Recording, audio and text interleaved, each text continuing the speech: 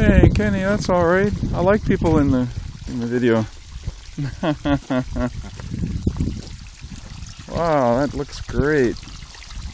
Yeah, when it's standing vertical, it'll it'll fall right on the film. No question about that. So, boy, does that ever look sharp.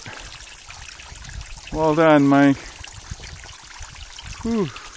And it reminds me very faintly of a uh, a uh, waterfall in New Hampshire that's right down near the town center, just kind of breaking over this beautiful little fall. Hey, Kenny, thank you. Thank you for all your help today.